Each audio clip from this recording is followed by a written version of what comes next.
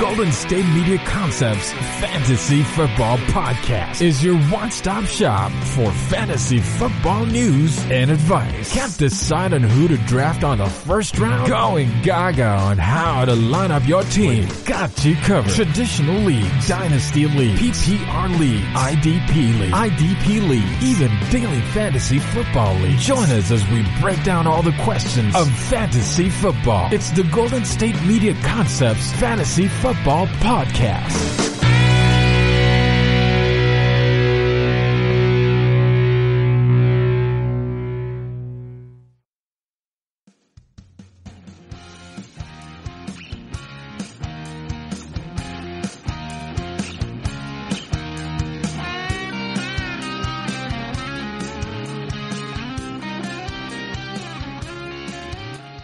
What's up? It's Ethan from GSMC Fantasy Football Podcast on the GSMC Podcast Network. I hope everyone's having a wonderful day or start of your day, end of your day, whenever you choose to listen to this podcast. On the day that you choose to listen to it, I hope it's going well. Uh, we're still in the, the quarantine things. We're still, you know, the world's still going through some stuff. Uh, states are opening slowly but surely as that's what the state governors and state officials, government, they're all trying to move towards getting people back to work. So hope everybody stays safe out there, makes good decisions, and you know we'll all get through this one day at a time.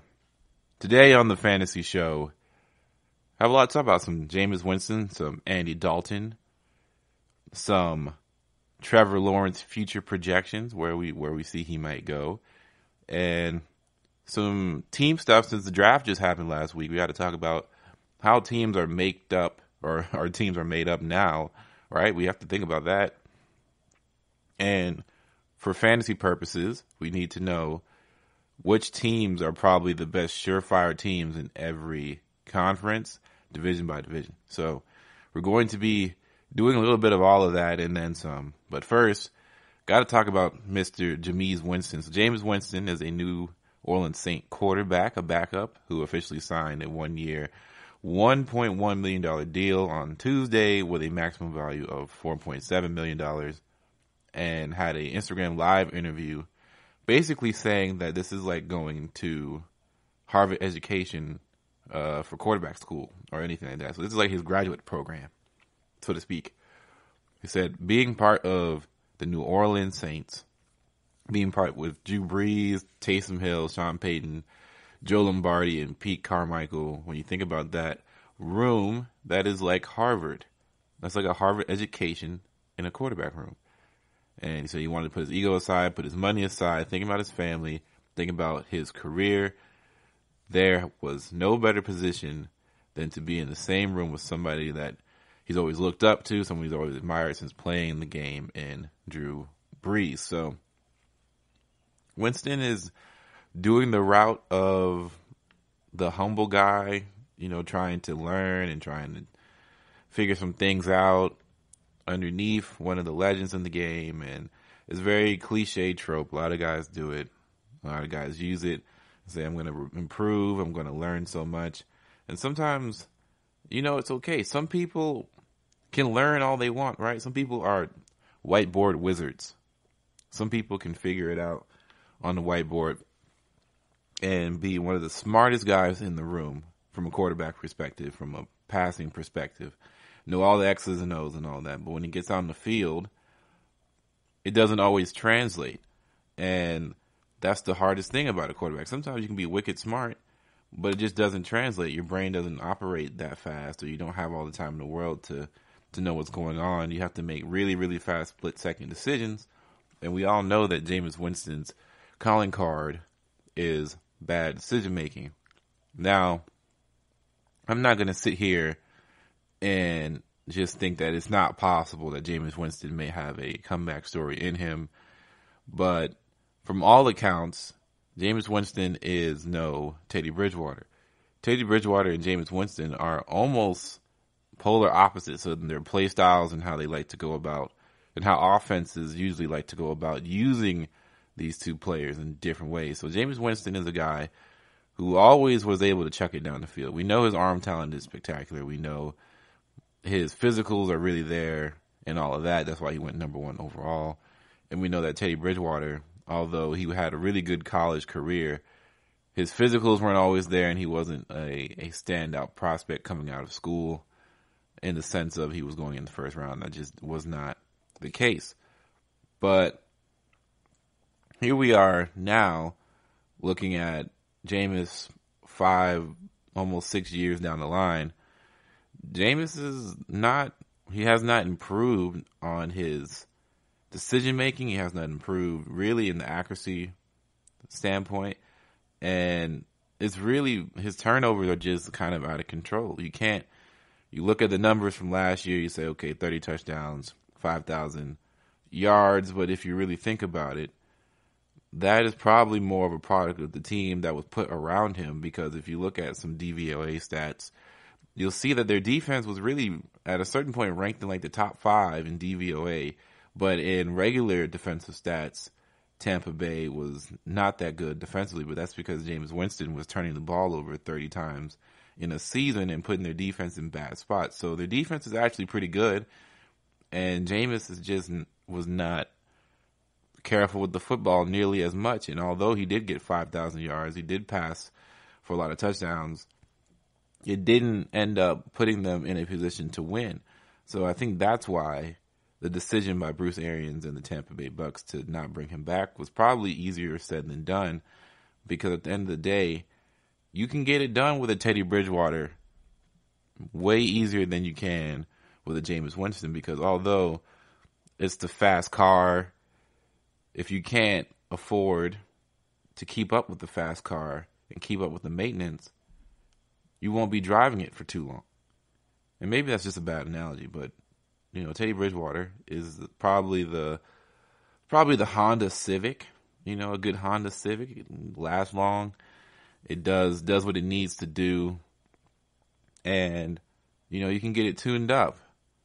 But I don't know if James Winston is able to be tuned up.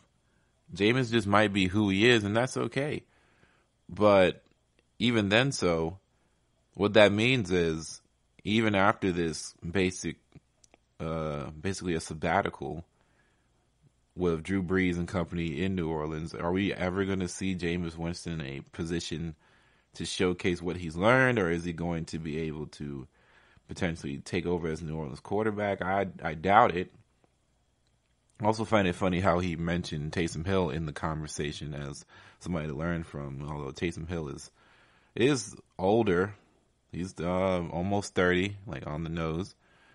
But in reality, Taysom Hill is in a similar position as in my well, he's not in a similar position from a quarterback perspective. Taysom Hill has as many question marks as Jameis because we just don't think I don't personally think James uh, Taysom Hill will ever be a true pure thrower of the football, and he'll always be in these little gimmicky schemes because that's where he was. That's where his success is at. If he was really somebody who really could take over the position for the Saints, I feel like they would have more confidence in what he's doing, and I also think that they wouldn't be using him such as a Swiss Army knife of the sword. Now, maybe I might be wrong. Maybe they involve him in a different set of offense, right? Where people just let they just start letting him throw the ball more. Maybe he comes out and instead of that one play, he comes in under center and it's a run play or it's a wildcat play or whatever the case may be, right? It's actually like a passing, a passing display, and people get so tripped out because they expect Drew Brees to be the one to start slinging the football out, and Sean Payton starts getting into fever dreams. I don't know what's going to happen next season. We don't even know next season's going to happen. But it's all exciting. But they needed a quarterback behind Taysom Hill just in case if Drew Brees goes down, they need a quarterback, so to speak. And Taysom Hill, at this moment in time, is still more of a gimmick than a quarterback until things are proven otherwise vague on the on the field. Also, side note that we should probably talk about the fact that there are some other what was it? Taysom Taysom Hill did something. Now is uh, escaping me. something with the Saints happened. I can't even remember. But essentially, all right, now I remember. Now I remember. Now I remember. So essentially, in ESPN fantasy leagues, Taysom Hill is now under tight end and flex for fantasy. So that's that's pretty good for Taysom. You know, he was always a quarterback, so you can never really have him be anywhere else in uh, ESPN leagues. So this is good for deeper leagues that might need somebody who could potentially do some things for you. But I would be very cautious because even though he had seven touchdowns last year, they're very spacious. They basically were only t- there because Alvin Kamara put them in those positions. So how many times are we going to see Alvin Kamara only have two touchdowns in like a few weeks or in a long stretch of time? I doubt that will happen ever again. So I would just be a little bit wary of the of that pickup if you're going to look at him as a potential bang or bust player in your offense, and I'd only look at him if you're really desperate for tight end help. All right, we're going to take a break and we're going to get into the Andy Dalton stuff.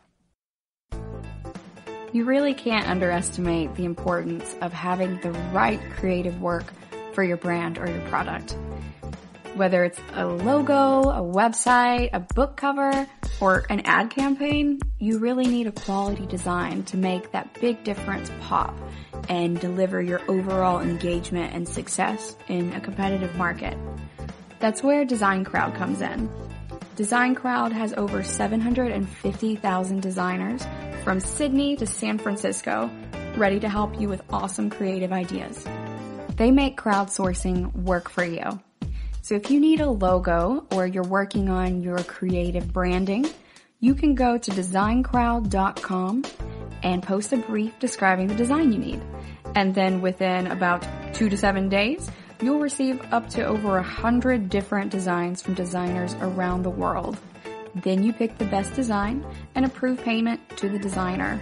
So you're only paying for the design that you want. It takes a lot of the guesswork out of freelancing and out of crowdsourcing. And you don't have to be a huge company like Harvard Business School to use Design Crowd, although they have used it as well.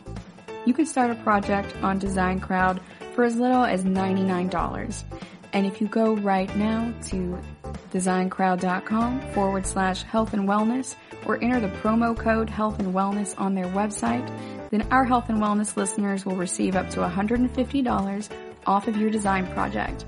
That's designcrowd.com forward slash health and wellness or entering that promo code health and wellness.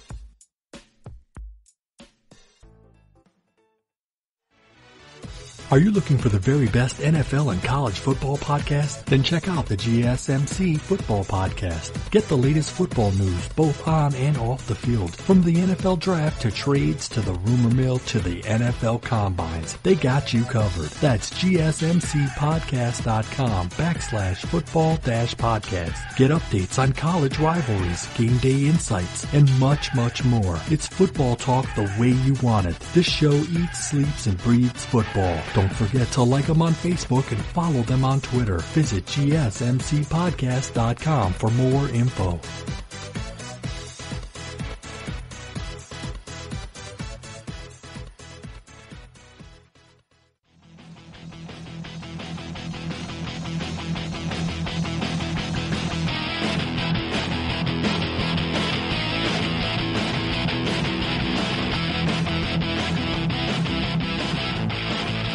All right, so Andy Dalton was released Thursday morning, so week after selecting the face of the franchise, face of the future. The Bengals are saying goodbye to Andy Dalton. They released him per his rich. Uh, Andy Dalton wished this, and this is what the Cincinnati Bengals had to say. They say Andy will always hold a special place with this franchise, and they know that he holds a special place in his heart, as in team president Mike Brown. He also says that this is a hard day for our club because we know and appreciate what a consummate professional Andy has always been, and they respect and appreciate Andy, and they thank them or thank him. So the release came as a result for lack of trade market for the 32 year old quarterback, and that makes a lot of sense as you can see guys like Cam Newton, guys like James Winston although James Winston is a free agent more than a uh, he was a free agent more than somebody who was able to be traded away. But the market for quarterbacks definitely shifted vastly. Really, ever when Tom Brady went to Tampa Bay, things kind of really shifted around because then the Colts went and grabbed Philip Rivers. And then the Chargers said that they were going to run with Tyrod, but we all know that just means they're going to draft a quarterback to replace Tyrod when things were ready and time was necessary.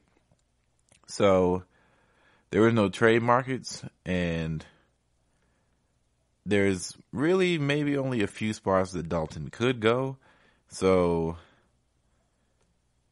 you know, Jay Gruden is the offensive coordinator as the or the offensive offensive coordinator for the Jacksonville Jaguars and it makes sense because they worked together from 2011 to 2013 during the best times that the Bengals were. And don't forget, the Bengals had some good seasons, regular seasons, and they had some playoff moments. Some of them not so good, some of them okay, but for the most part, all things kind of flamed out. But if you think about it, there have been some wins when you go against the, Pittsburgh Steelers all the time and the Patriots during the heydays of their time, it's hard to imagine that it was fun to be a part of that cycle where even the Texans have had some years where they could have went to the Super Bowl, but because they ran up against Pittsburgh or they ran up against the Patriots, things just didn't work out. Regardless,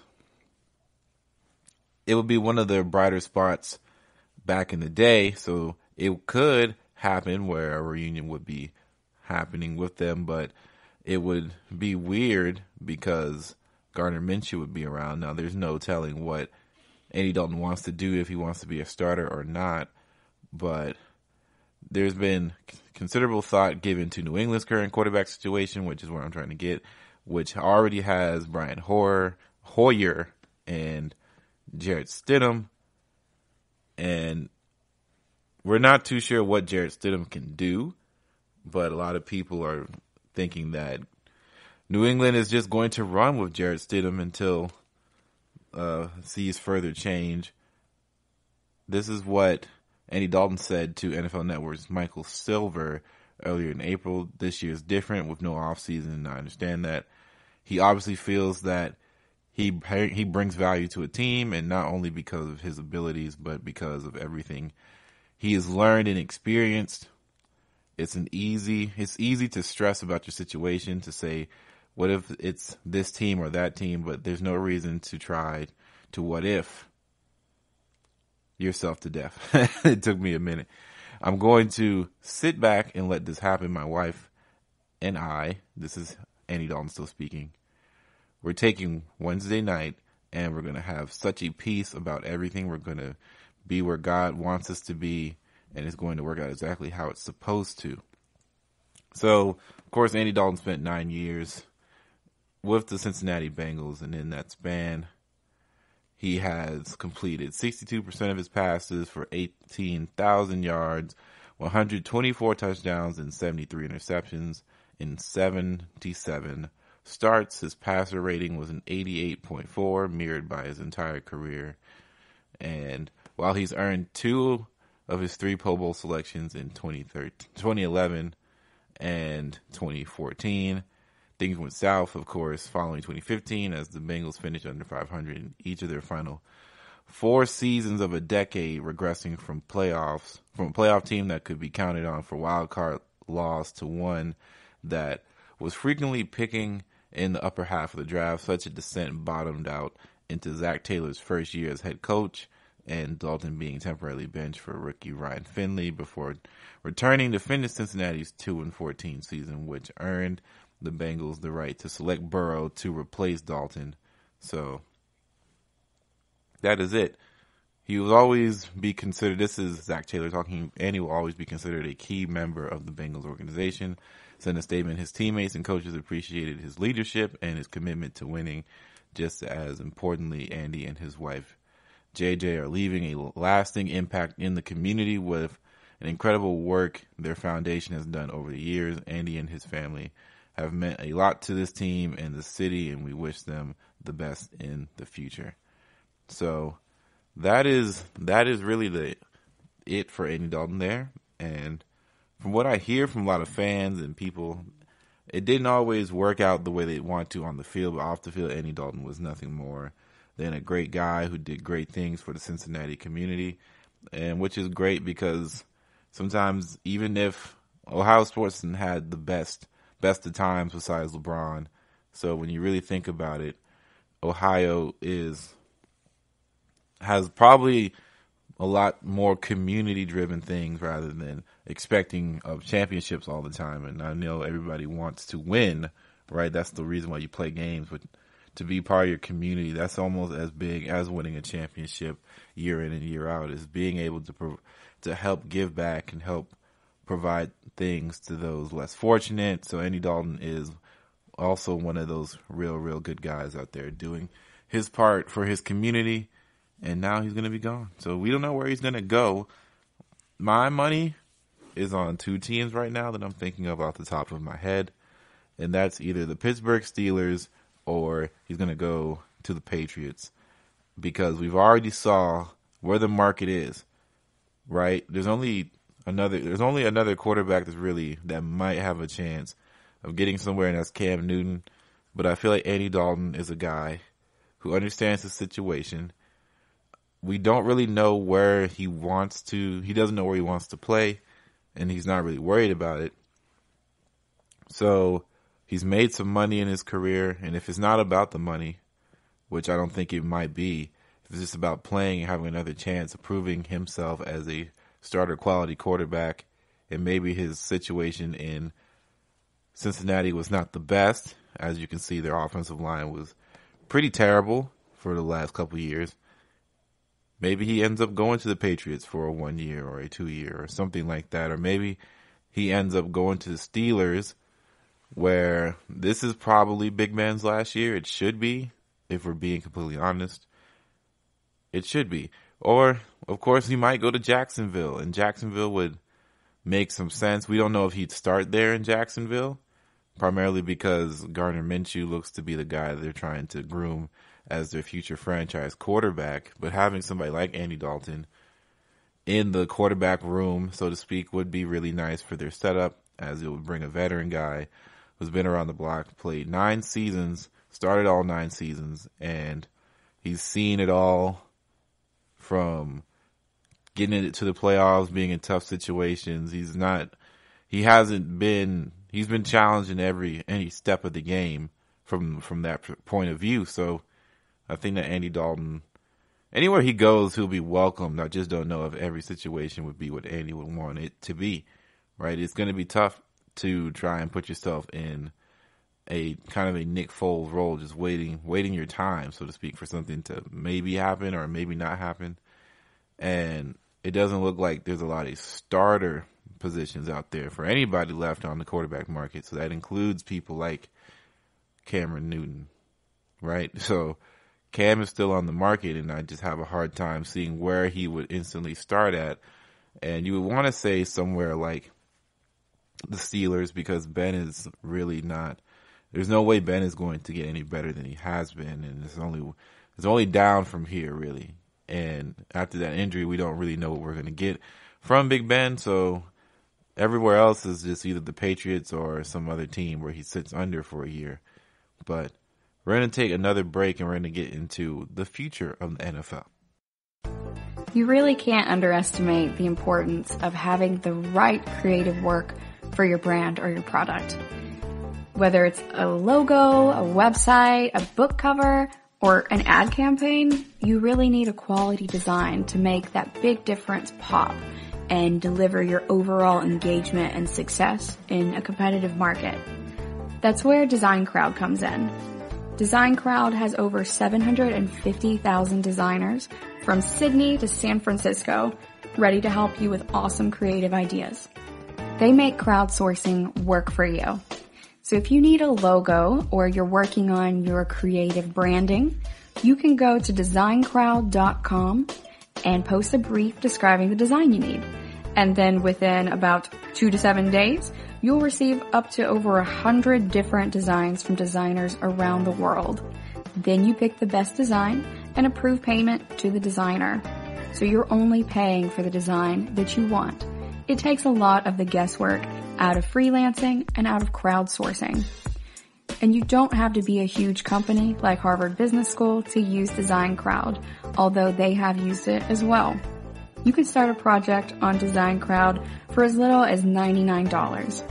And if you go right now to designcrowd.com forward slash health and wellness or enter the promo code health and wellness on their website, then our health and wellness listeners will receive up to $150 off of your design project. That's designcrowd.com forward slash health and wellness or entering that promo code health and wellness.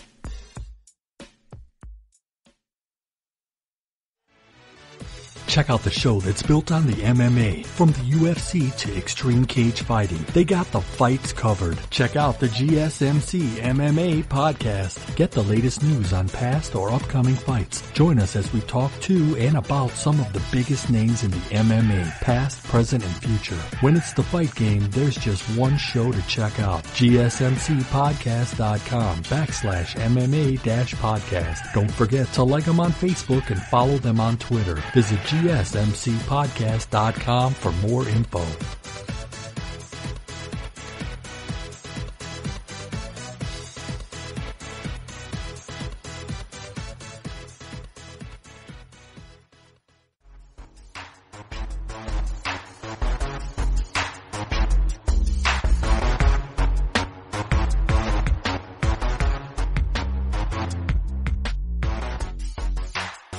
So I wanted to take some time in this podcast to talk about the future of the NFL, which is quarterbacks, because quarterbacks always come and go and they cycle out over the years.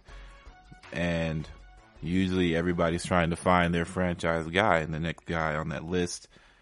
Right now, who could be your franchise guy is Trevor Lawrence, the coveted next quarterback to come probably in the first pick overall in the NFL draft. So here we go. Who, where's the landing spot for them, for him, I should say? Where is he going to go? So there are not as many horrible teams in the NFL right now. We're in a we're in a spot to where a lot of teams could be competitive and there's no telling what side where who goes where and what happens. So Miami was not that good in the beginning. Well, they were really really bad in the beginning of the year last year and then they came back, won a couple games and they still ended up being able to get their quarterback. Now I'm not sure what that means for other teams because Trevor Lawrence is so good, but there's no telling if he'll go first overall because of whatever the needs the teams might need. But we're just gonna go with who who might need Trevor Lawrence. So if all things go to where I think one of the the team that I expect that probably might need Trevor Lawrence is Jacksonville. I just don't think their roster is built to compete, especially in an AFC South team that already has Houston and Indianapolis and Tennessee. Indianapolis looks like they're going to be making a comeback, and their seven and nine record does not speak to how much they're talented per like per roster spot against other teams. So I think Indianapolis is going to take a leap. I think Tennessee, although they went nine and seven, they went on that huge run, and I think that they'll carry that momentum into the new season fresh with their new starting quarterback, or should I say, retaining starting quarterback right now. And of course, Houston is, however good. How much can Deshaun Watson carry this team? And with Brandin Cooks, and seemingly looking like they're going to be trying the hardest to get a balanced attack going instead of throwing it down the field. And they do have a lot of speed on the outside, so we're just gonna have to see how the offense goes. But they went ten and six last year, and they were hot streak team, so they would be streaky, and then they'd be weird other ways. But that's just kind of how the game goes with Houston. So I don't really see any of those three teams being anything but competitive within their division. So uh, Jacksonville might get the short end of the stick there. They went six and ten last year and had a lot of injuries, so maybe that might change some things. But I think that Jacksonville has got to be one of the front runners for the Trevor Lawrence, uh, the Trevor Lawrence Bowl. Next has to be Denver because I'm not sold on Drew Lock. I don't know if Denver is sold on Drew Lock. And if Denver has the most bang or bust potential of a team this year because although Los Angeles Chargers went 5 and 11 last year, there's no telling what they're going to be this coming year because they have a rookie, they have Tyrod Taylor, so their offense, we know how talented their team is overall, but when you don't have a quarterback to be stable and be able to play at a high level, all that talent can sometimes be overshadowed. Look at Cleveland. So we don't know what Los Angeles is going to do, but I know they're not going to take a quarterback. Denver has the most banger bust potential. I think I like majority of the parts of their roster, but we have to look at it from this perspective. Quarterbacks drive this league, and if your quarterback can't get it done on the field, right? If they can't get it done on the field, they had a two and six record last year on the road. That is not good by any stretch of the means.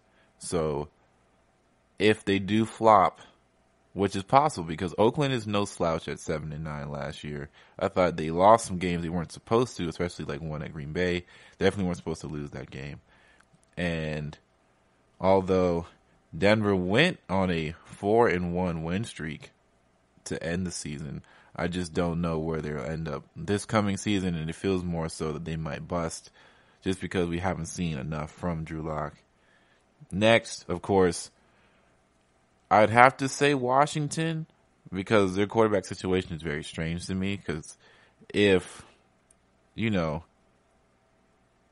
if our boy there, Haskins, can't get it done, this has to be out for him, right? Because they're not going to start Kyle Allen and say he's the face of the franchise, right? They're probably going to tank another year and get in the top five to hopefully secure Trevor Lawrence. And that's probably going to that would make a lot more sense to me personally is Washington try to get him or maybe even Chicago if things go south. Chicago even though they have Nick Foles now I don't think Nick Foles is the future for a lot of guys mindset I think Nick Foles is past that prime. And if Nick Foles can't get it done they're not going to give Nick Foles another year to shine primarily because we know how this works. You only get another year when you're young, and Nick Foles is not a young guy. So we're already past the point with Mitchell Trubisky where we're giving him another year. They're putting competition, quote unquote, for Mitchell Trubisky, but really is Nick Foles is going to probably start for them. NFC South is pretty much locked in for the next few years. I don't see any quarterback changes whatsoever. No matter what the the records look like, they're not going to go get another quarterback.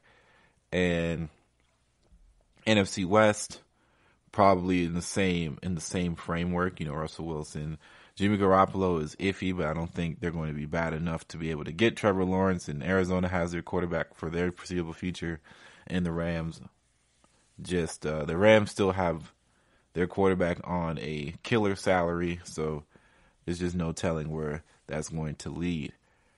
Now, the wild cards, of course, maybe the Patriots just really stink next year, and that will put them right in position to maybe get Trevor Lawrence. I don't think the last time, I don't know when's the last time we saw the Patriots in like the top 10 of the NFL draft before. Maybe when the Brady got hurt, that probably was it. Other than that, I don't think we've seen them anywhere close to the top 10 in draft order before in a long time. So, probably since I've been alive, I haven't seen them in the top 10. Or at least since I've been watching the sport, we haven't seen them in the top 10. But at last, you never know. Football, anything can happen. Would be the best situation for Trevor Lawrence? Mm, I'm not too sure. You would think you want a good offensive line because you don't want to put your, your quarterback in disarray for the first couple of years. So the Giants are out of there, and even though the Giants already have their quarterback that they say they believe in, they're they're about as big of a chance to go bang go bust as Washington. Washington just drafted some O linemen, and honestly, they're talented across the roster in a lot of different spots, but at the same time, it doesn't always come together I think Chicago would be an interesting place for a young quarterback because their defenses are already really stout. You wouldn't, you could pay defenders because you already got your quarterback on a rookie salary and it would be fixed. So you wouldn't have to deal with uh, inflating costs later on down the line. So everybody else could get paid because that's the formula, right? You pay everybody else around your young quarterback and you try to do everything to win a championship in those four year window. And if you do, fine, great. Eventually you'll pay the quarterback and then you'll have to rebuild from there. Or it doesn't work out and you still have to pay your quarterback and you have to rebuild anyway. That's if the quarterback turns out to be good. Um, there's real, there's no real other place I can see him other than that. So I guess those three is Denver, New England if things go south for them, uh, Pittsburgh if things go south, and Jacksonville. So, of course, we know that Andy Dalton might go to Jacksonville. There's a, there's a strong case to be made going with his former offensive coordinator that he played with in 2011 through 2013, way back in the day with the Bengals. It's so weird to think that 2011, 2013 was so far away, so long ago that that, that came about. But no doubt that was about nine years ago. All right, so we're going to move on here, take another break, and then we're going to get into the best teams in every division, and we're going to do the AFC first and talk about that in terms of fantasy football production. Check out the show built around the women of MMA. From the UFC to the extreme cage fighting, we got the fights covered. Listen. It's the Golden State Media Concepts Women's MMA Podcast. The latest news of upcoming fights, discussions of previous matches. Join us as we talk to and about the biggest names in women's mixed martial arts. Past, present, and future.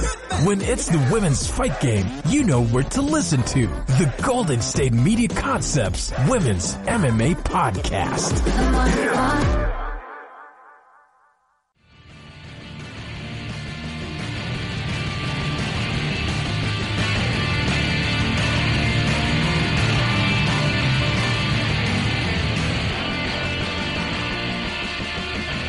All right, so coming back in, we're going to talk about best teams in every division for fantasy. We're going to go with the AFC first because A starts before the letter N.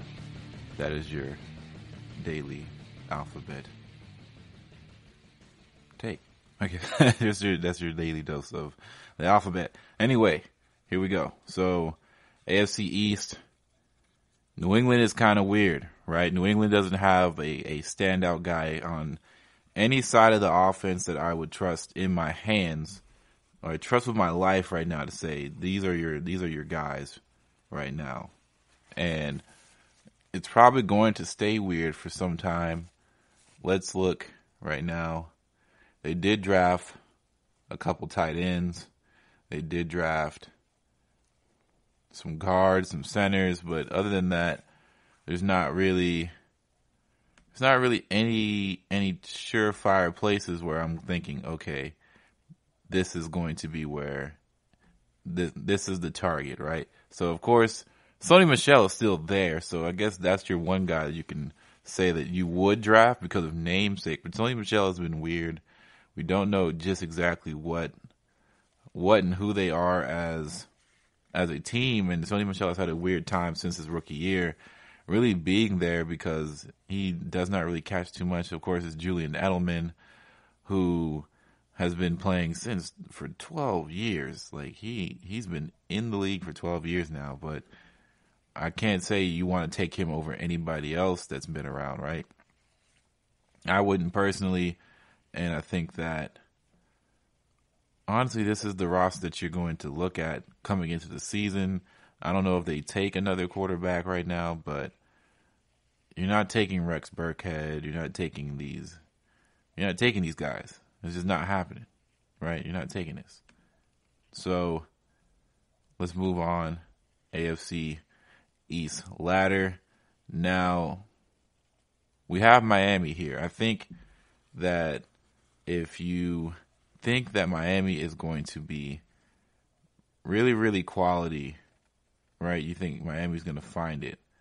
They have a lot of receivers on their roster that potentially could have some really good years with their new guy at the helm. So, of course, we have wide receiver that really, really came out and and shook some things up. So, let's see. They still bring in DeVante Parker, so that's their standout guy, DeVante Parker. And then coming out, we have new running back, so they get Matt Breida. That's nice. They traded for him. They have Preston Williams, who had a pretty good year before injury. They bring all these guys, so they have like Van Noy, but he's not. He's a defensive player. I'm just saying who they all bring, run to the table.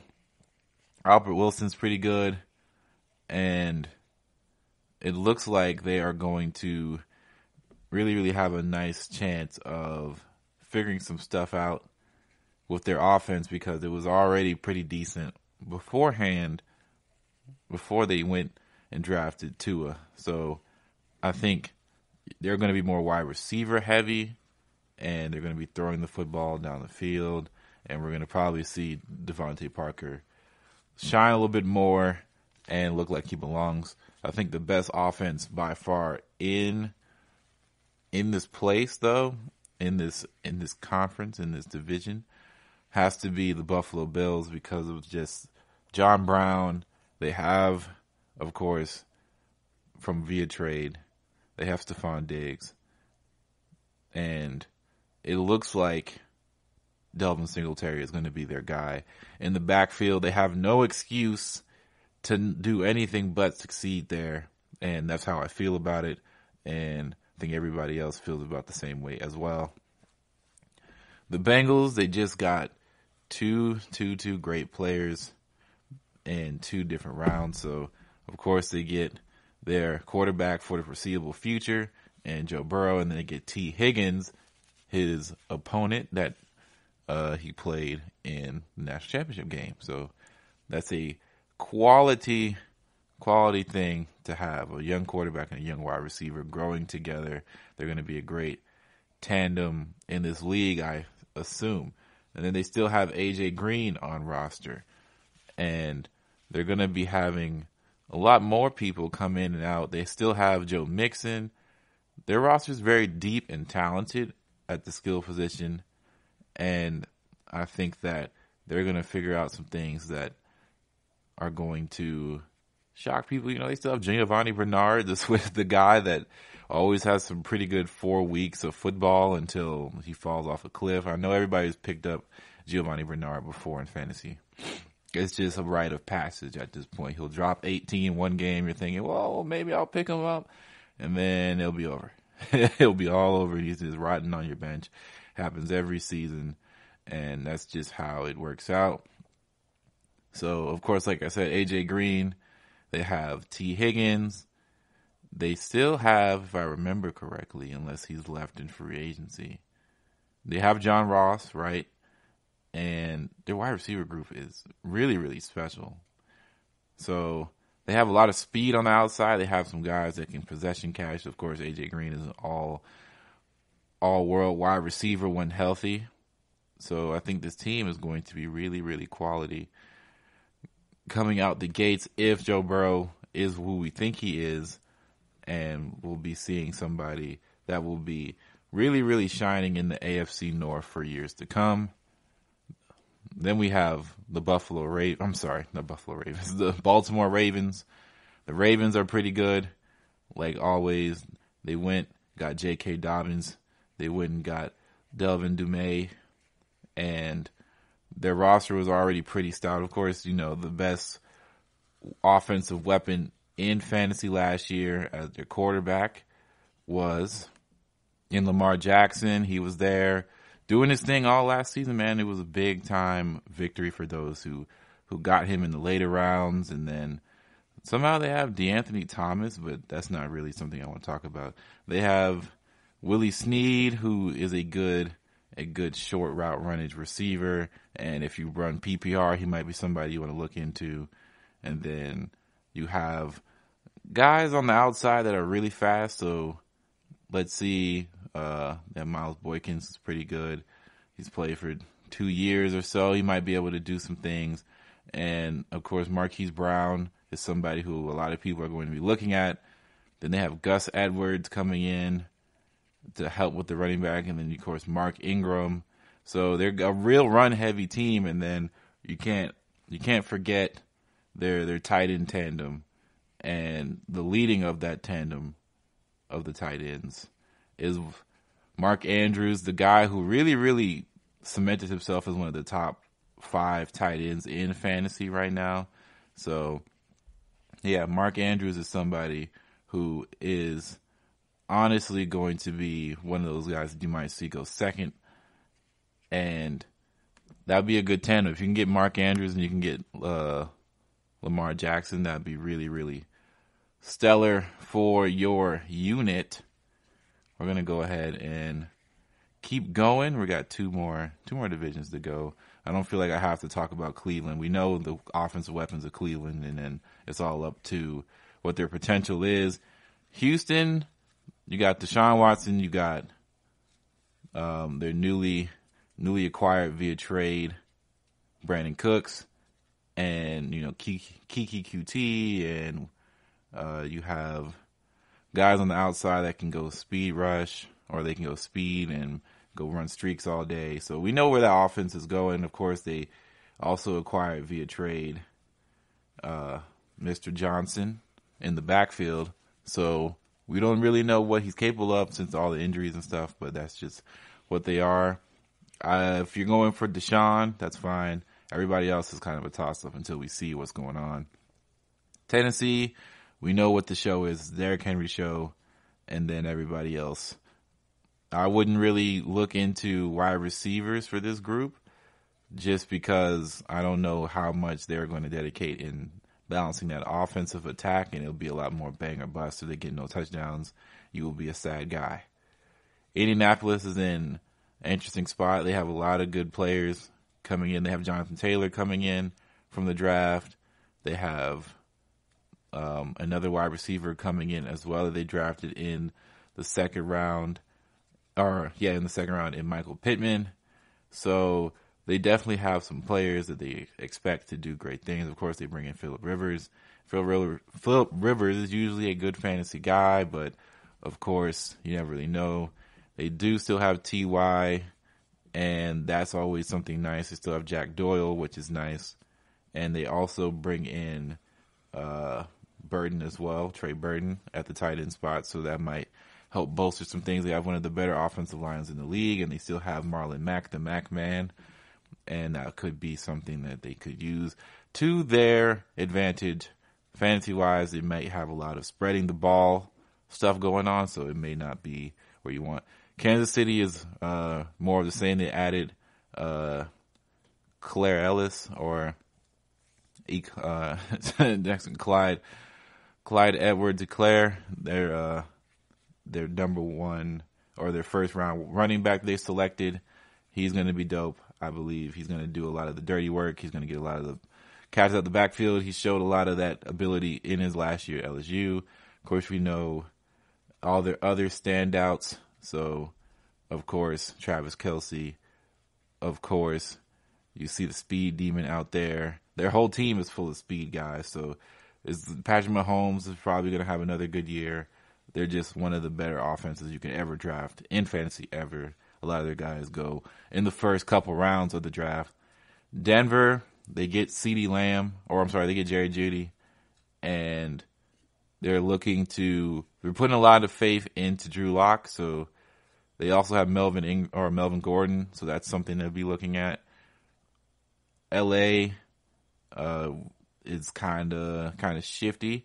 LA has a lot of players that could do some things, and it all really depends on if their quarterback can they're probably going to be developing some because, of course, they got a rookie. I don't know if they're going to really, really be able to showcase their full sets of talents. Oakland, uh, is another team that also drafted a wide receiver from Alabama, Henry Ruggs, and then of course they have Josh Jacobs from Alabama, and they also had a pretty pretty good season coming from their tight end spot, which was something that was really nice to see from uh, Darren Waller. So ha- adding that wide receiver threat is going to be really good for them, and we'll just have to have to see what they can do all together. But that is the that's the AFC team. So we're going to take a break and go into AFC. Are you looking to get your college football fix?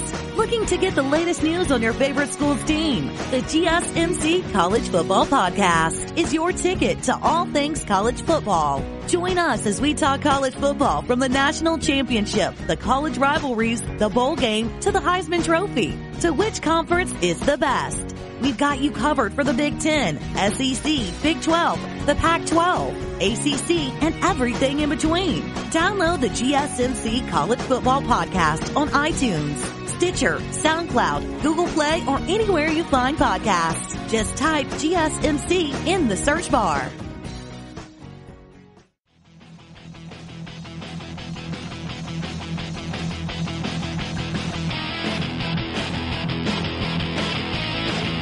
Okay, so NFC, the Eagles. The Eagles went and drafted a quarter. Or I'm sorry, drafted a wide receiver with their first round selection in Jalen Reagor, and then they drafted Jalen Hurts afterwards. I don't know what their plan is for Jalen Hurts. They also drafted in the fifth round John Hightower as another wide receiver, so you know they're bolstering their outside because their wide receiver position has been decimated via injuries and via bad play for quite some time.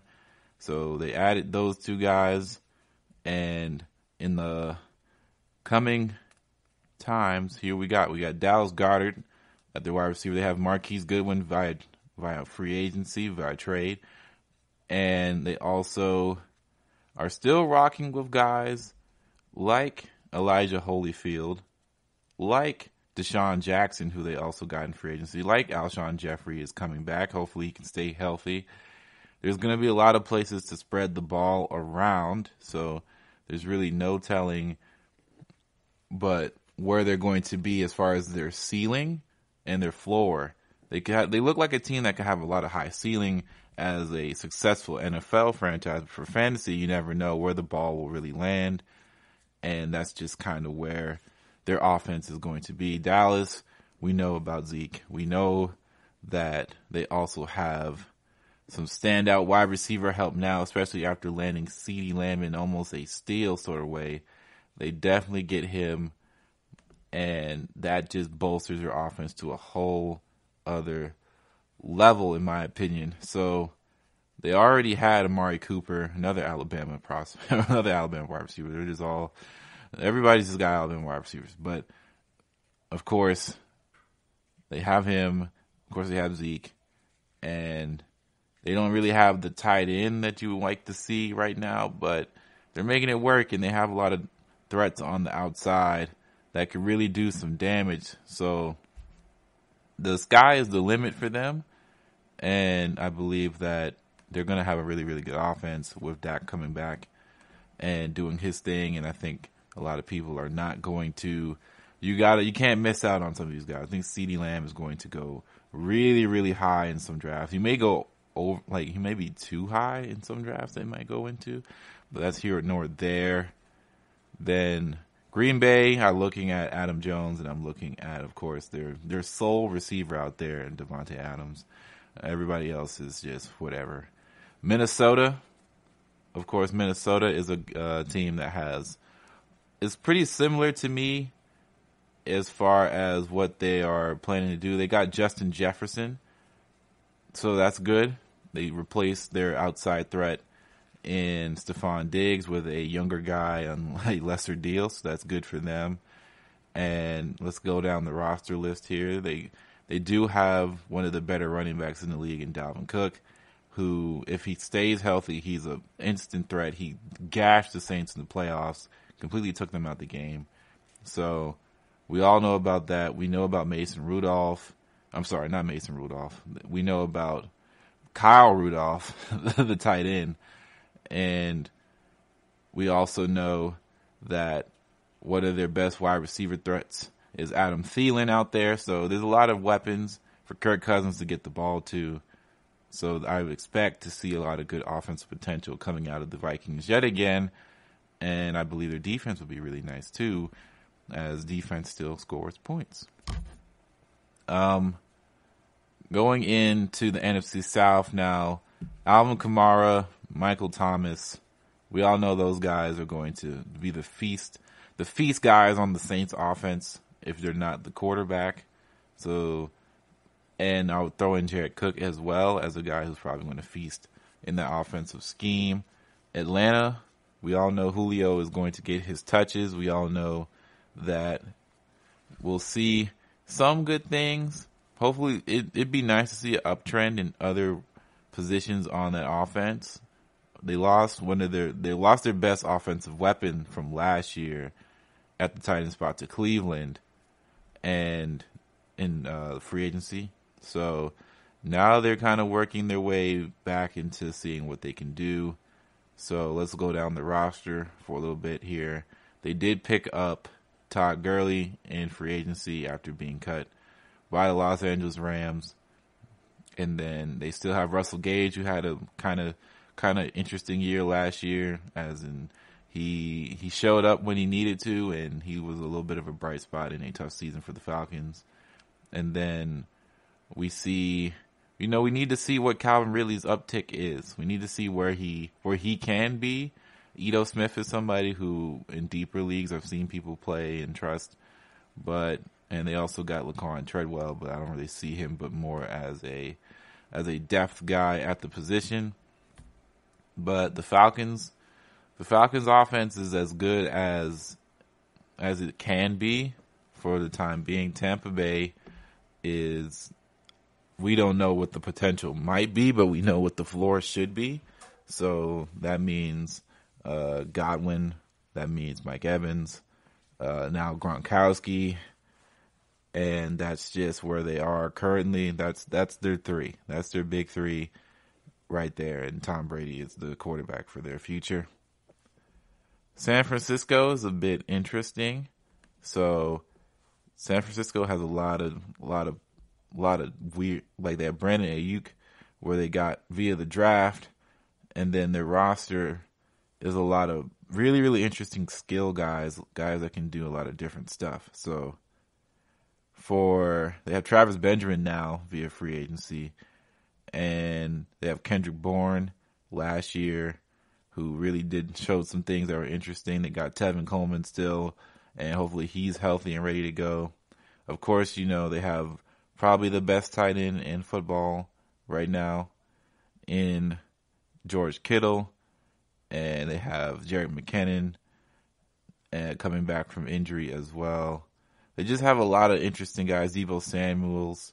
They have Chris Thompson as wide receiver. They just their team structurally is there's not so many guys who are super big names, right? They're besides George Kittle, but everybody else fits in this offensive scheme so well, and they just do so well, and they just destroy destroy people with this with this offense. It's really really fascinating what they're able to do there. Kyle Shanahan's able to do with this with this offensive juggernaut of a team, and we'll just we'll have to see if they're able to continue this trend of just being a high powered offense that shares the ball but really wants to run the ball down your throat more times than not. But they can get really really really really shifty with their offensive schemes. All right, so Seattle, we know that Russell Wilson is their bread and butter guy, and if you can get him in fantasy, uh, congratulations because he is just a all he's an all stud. He's an all time stud in fantasy. He's always a fantasy MVP candidate year in and year out. We know Chris Carson should be coming back from injury. That will be really, really good for them.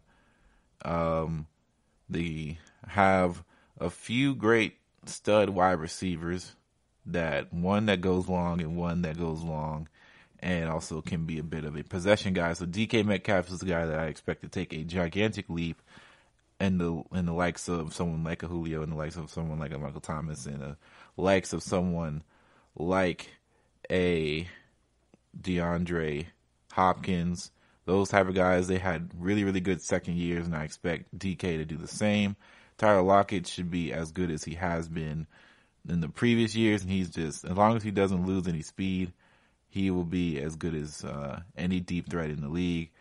Then, of course, we know about their their tight end, who really, really is kind of sneaking into the scene right now, as far as people talking about him.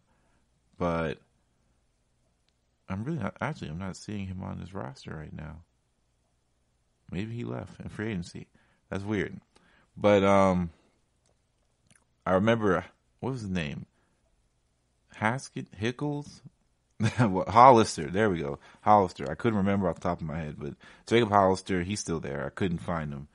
But you know, it's a roster that really, really could could push some things, put some things into perspective, and it would be interesting to see if they could they could really spread the ball and get the ball loose. As we know, we know that Russell Wilson tends to get a lot of numbers, but sometimes it it can be a, a one man one man army and spreading the ball is not always something that is it's usually your turn, my turn, your turn, your turn sort of thing. It cycles. So not everybody spreads the rock all the time and spreads the sugar. The Rams, they have a lot of interesting things going on. They got Cam Akers. They got Van Jefferson is a guy who's a guy from Florida that a lot of people were really high on coming out of the combine. So Cam Akers is somebody that goes. We know already about Malcolm Brown. Now I'm not saying that he's going to be a guy that you're going to want to look to really go deep into the draft, but that's a you're seeing a running back by committee situation here. Jared Goff, of course, is still the the quarterback. Tyler Higbee it might be somebody you want to look into. Van Jefferson, of course, is somebody that is going to be on a lot of people's radar, as well as Cooper Kupp coming back. And Cooper Kupp is usually their breadwinner. So Robert Woods is still there as well. There's going to be, I think this offense could really turn it around if they want to. So if all things are well and good, their offense can turn it around and be one of the better offenses in the foot, National Football League that we're used to seeing. And then for Arizona, here we go. This is the last team we're going to cover, Arizona. We know about they drafted Isaiah Simmons, but he does not play any offensive positions. But I expect great things coming out of Isaiah Simmons. Here we go. You know who they got. They got DeAndre Hopkins in free agency.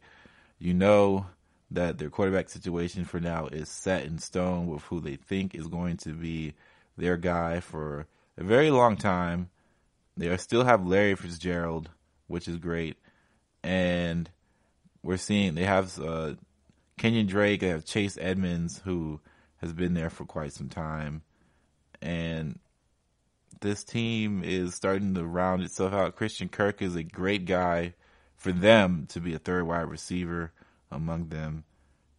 They just have all the they have it down, man. This is their this is their time to really try and gel and figure some stuff out. I don't know how long Larry is going to continue to play, but I would be I would not lie to you if I'm not excited for for this offense.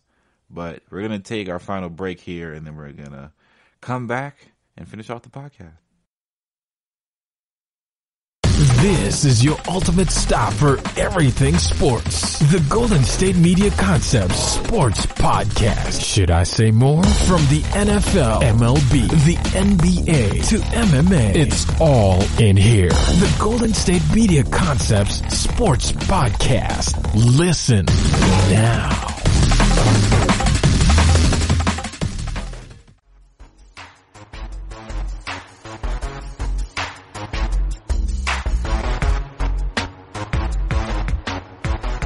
Okay, so I wanted to end off this podcast with a little bit of a fantasy story of my own, man. Uh, I've been, you know, about names in your fantasy teams. Fantasy team names kind of can come out the blue, can kind of, you try to be witty sometimes, you try to figure some things out that, you know, sometimes you make it, you make it off of the team you drafted, sometimes you make it off of your favorite team or anything like that. So, there's a lot of different team name composition that people can get creative with, right? So, for instance, in my league that I was in, somebody named their team Once Upon a Time, which is nice.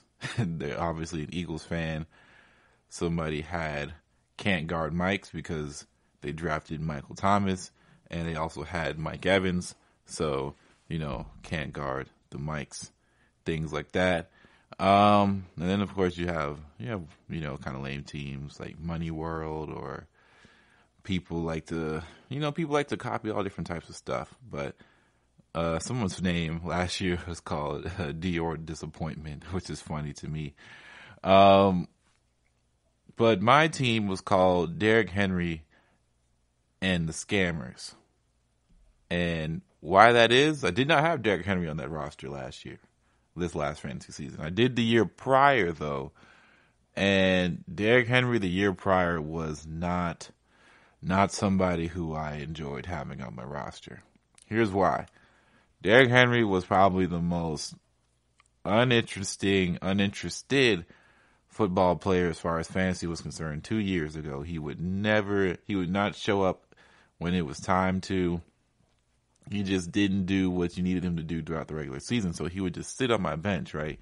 And Derrick Henry has been dropped in many times and during this league, people would have him, drop him, have him, drop him, and it just would not amount to really anything, really anything at all. And I'm just scraping by these fantasy playoffs, man. I'm just scraping by. I'm trying my hardest to make it, and I make it in the in the first round. So in the first round, I am I'm here. I'm ready. I'm ready to go. And this is where where things get kind of shifty. So this is the fantasy playoffs, and I'm not trying to to risk it all. Tennessee is playing, I believe, a Thursday night game, and Thursday nights at the beginning of Thursday night games were not really great. They're actually pretty abysmal, in my opinion. They were pretty much pretty much just not quality play all across the board, and I was not trying to risk it all, so to speak, to essentially give myself a a fighting chance. I didn't want to risk it, so I wanted to to be able to go. This is, of course, the year that Derrick Henry decided to have almost two 100 yard plays uh, in a row. This is, I think this is the year that Derrick Henry. Let me look it up. Derrick Henry versus the Jaguars, because he just went bananas, like absolutely bananas, and he had like 50 fantasy points that I needed to win. So it was so bad. All the the whole year, Derrick Henry was just out of control, right? And it was something that I just I I couldn't fathom. So in December the seventh, twenty eighteen, it was the it was the death of my fantasy season. Uh, so he had about fifty points. So he had the had the most had the biggest fantasy game of his year, and it set so many people right. So Titans running back Derrick Henry on his team was feeling pretty good. He ran for 238 yards and four touchdowns, uh, in beating the Jacksonville Jaguars 30 to nine on that Thursday night. According to NFL Network, that was the biggest fantasy football game of the 2018 season by any player. Um, he had 47 fantasy points, standard league. That was the most by any player that year. Anyone close was Mitchell Trubisky with 43, Ryan Fitzpatrick with 42, Drew Brees with 40, Matt Ryan with 40. So he beat out four quarterbacks to have that much. And most people weren't feeling great because they had him on their bench, and other people, like myself, also had him on the bench. And not that many people had him started, while a few picked him up after Kareem Hunt was cut by the Chiefs. So it was really, really insane. Now, I don't know how some people, I don't know what type of type of plays that people had to where Derrick Henry was getting 76 uh, statistics worth in fantasy football. So everybody had him on their bench, really. And there's really no scenario worse. So having Derrick Henry on the bench may be bad, but being out, being in the first round of the playoffs to go up against Derrick Henry and he's scoring against you would be pretty bad. I don't know which one is worse. So it's just, it was just painful. I did not enjoy it whatsoever.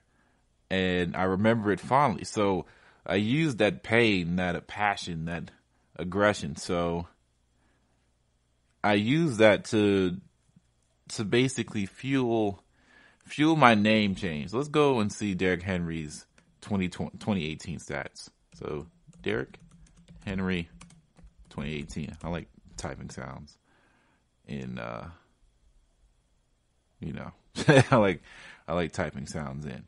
So in 2018 Derrick Henry had an interesting, you know, his year was was pretty standing. He still had he cracked a thousand yards on 215 attempts, so it wasn't horrible. But he only rushed 66 yards per game. Although he had 12 touchdowns, he had four of them in that game. So at that point in the season, in in week 14, he had eight touchdowns and only averaged 66 yards per carry. It was not great. I got to tell you, not great. Not great. We'll go to the game splits, right? Let's go to the game splits. Boom. So here we are, December 6th versus Jacksonville. 238 yards, for TDs, longest yard, yard longest run was 99 yards per carry after that, but before that, let's let's see this before that, right? He had 40 yards on 10 attempts, one touchdown. Before that, 8 attempts, 30 yards. Before that, 46 yards, 9 attempts. 58 yards, 11 attempts. 6 attempts, 27 yards. 12 attempts, 33 yards. It, it, it, was not good. He was not good. Not good. Not, not good. Not good. He was horrible the whole season. The entirety of the whole season, he was horrific. They just weren't giving him the football. But after December 12th, they he didn't get a touch under 16. So we in December 6th, he got 17 touches. December 16th, they gave him 33, 170 yards, two touchdowns. In week, in the next week afterwards, he got 21 touches for 84 yards, a touchdown. In the week after that, in a loss in Indianapolis, gave him 16 touches for 93 yards. And ever since then, Derrick Henry has been essentially a big time stud in all all sense of the word right there. So in reality, this maybe catapulted him to a whole other stratosphere, maybe that set him up for the, the greatness that we see today and what Derrick Henry has become in football terms as a a trucker, a truckload, a guy that handled the whole running back load, someone like a Zeke, maybe even better than Zeke. Uh, I think he went so low in the draft because they expected he had too much tread on his tires. But here we are. Derrick Henry is a, a star studded guy. But that is why my team name last year was Derrick Henry and the Scammers because at the end of the day, I ended up being scammed by Derrick Henry and the Tennessee Titans and lost a playoff game. And I probably would have lost anyway in the next round. But that is the that is just something I'll never forget that Derrick Henry dropped almost 50 points on us in fantasy, and he was on my bench. All right, so with that said, that's the GSMC Fantasy Football Podcast. Thank you all for listening. Don't forget to rate and review us on whatever platform you choose. Please, five stars, five stars, and keep it rocking with us throughout this whole quarantine and forever on, man. You know, we're just, every day is a grind. We keep going. Thank you all for listening, and see you all next time. You've been listening to the Golden State Media Concepts Fantasy Football Podcast, part of the Golden State Media Concepts Podcast Network. You can find this show and others like it at www.gsmcpodcast.com. Download our podcast on iTunes, Stitcher, SoundCloud, and Google Play. Just type in GSMC to find all the shows from the Golden State Media Concepts Podcast Network. From movies to music, from sports to entertainment, and even weird news. You can also follow us on Twitter and on Facebook. Thank you, and we hope you have enjoyed today's program.